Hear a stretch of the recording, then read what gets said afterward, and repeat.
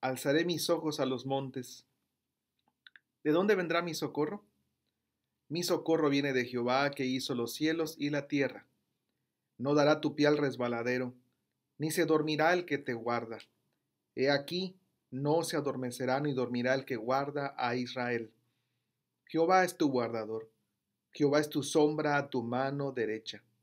El sol no te fatigará de día ni la luna de noche. Jehová te guardará de todo mal. Él guardará tu alma. Jehová guardará tu salida y tu entrada desde ahora y para siempre. Desde ahora y para siempre. Qué maravilla.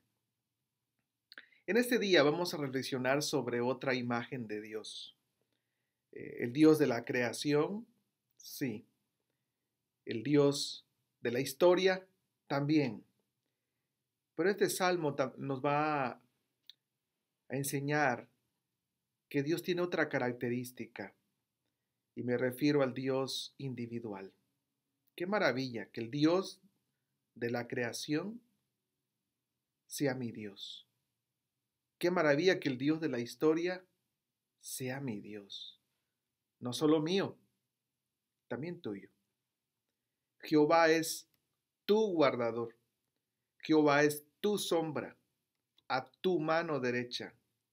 El sol no te fatigará de día ni la luna de noche. Jehová te guardará de todo mal, Él guardará tu alma. ¿Estás escuchando? Tu alma no te fatigará, es tu sombra, es tu guardador, es el Dios de cada persona. ¡Wow!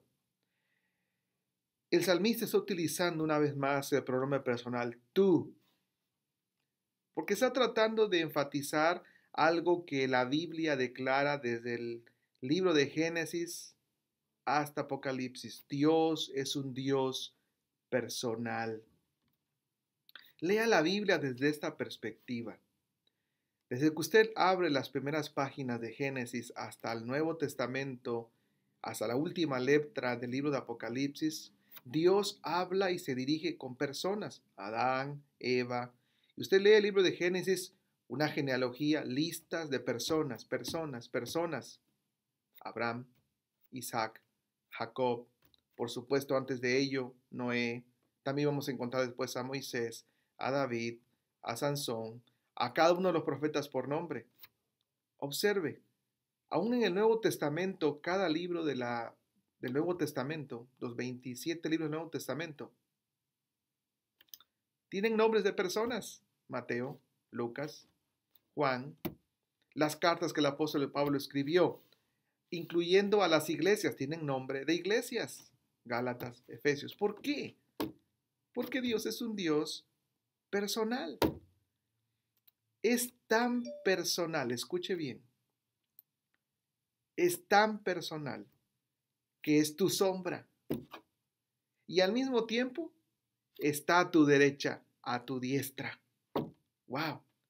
Está hablando del Dios que siempre está cerca. ¿Qué tan cerca? El salmista, el salmista dice, es tu marcador personal, es tu sombra inseparable, tan cerca de ti que donde quiera que vas va contigo y va contigo, incluyendo tu, su mano derecha, su poder, el poder de su presencia. El Salmo 16, verso 8 dice, a Jehová he puesto siempre delante de mí, porque está, escuche, está a mi diestra. Es una extensión junto a mí, no seré conmovido. Isaías 41:10 dice, no temas porque yo estoy contigo, no desmayes porque yo soy tu Dios, que te esfuerzo, siempre te ayudaré y siempre te voy a sustentar con la diestra de mí.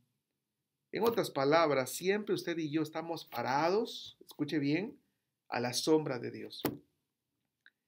Siempre estamos bajo su presencia y siempre al mismo tiempo estamos amparados bajo su fuerza. Dios está más cerca de lo que piensas, es tu Dios personal. Vale la pena personalizar este salmo, José. José, Dios es tu Dios personal, es tu sombra está siempre a tu mano derecha. Esto es lo que la Biblia dice. Dios no está limitado, a diferencia de ti y de mí, por el tiempo y el espacio. ¿A dónde me iré de tu espíritu? ¿A dónde huiré de tu presencia? Si subiere a los cielos, allí estás tú. Y si en el Seol hiciere mi estrado, he aquí, allí tú estás. Si dijere, ciertamente las tinieblas me van a encubrir, aún la noche resplandecerá alrededor de mí.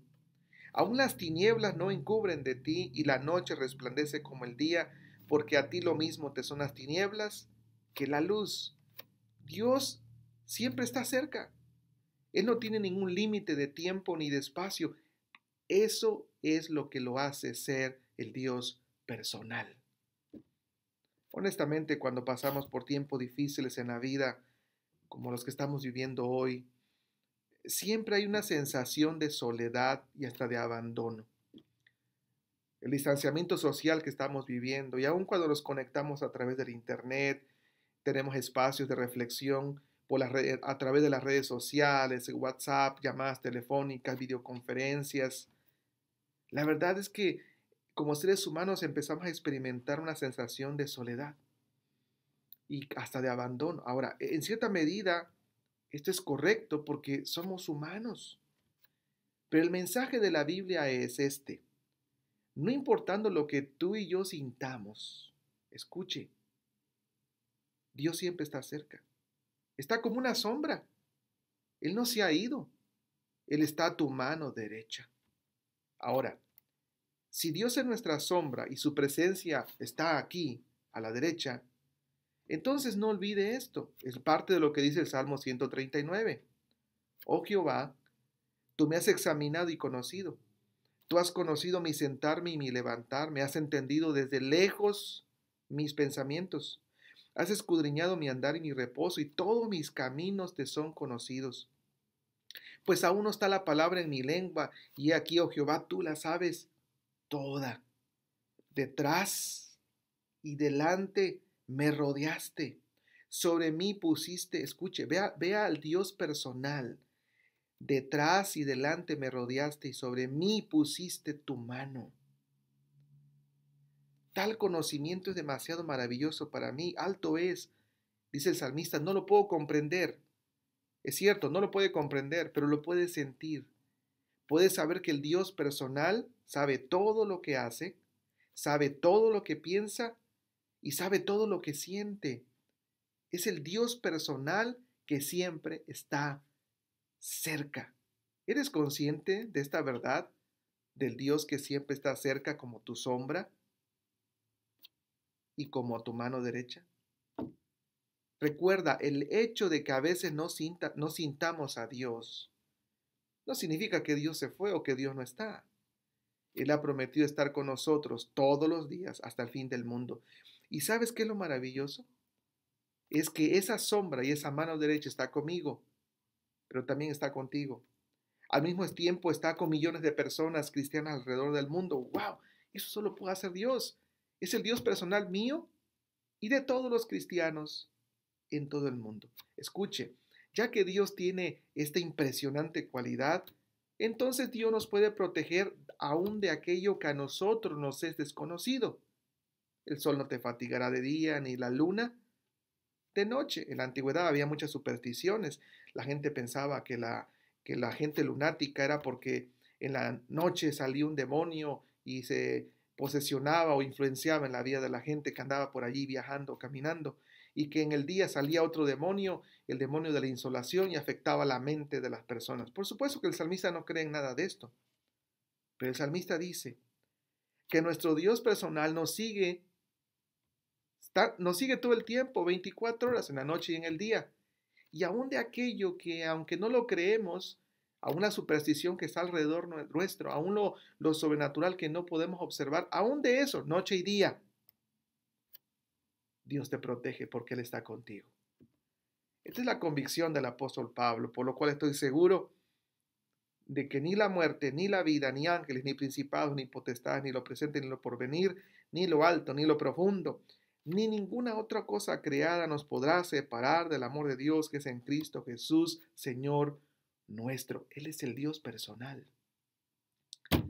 Lamento decir que miles de personas todos los días consultan a los astros, a los horóscopos, a las cartas, para saber cómo les va a ir en su día.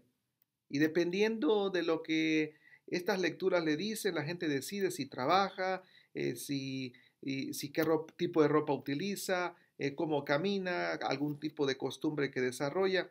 Y hay gente que hasta inclusive no sale de casa porque los astros no le favorecen. No le tenemos que preguntar a Dios nada de eso. ¿Por qué? Porque el Dios que está con nosotros es el Dios personal que siempre está a nuestra sombra, siempre está a nuestra mano derecha, 24 horas al día, noche y día, ahí está. En Él siempre estamos seguros. No hay que preguntarle a Dios qué va a ocurrir mañana, Dios ya lo sabe, porque Él es el Dios que siempre está conmigo, es el Dios que siempre está cerca. ¡Qué maravilla! El Dios de la creación está conmigo. El Dios de la historia está conmigo. ¡Wow! El Dios, mi divino compañero, aquí está. Gracias, Señor. Gracias porque no te has ido.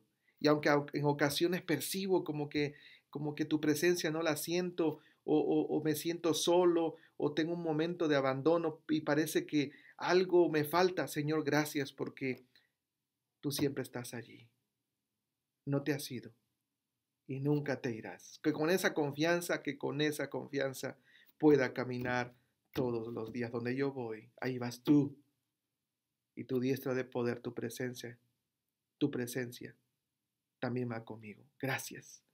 En el nombre de Jesús, alabado sea tu nombre. Amén.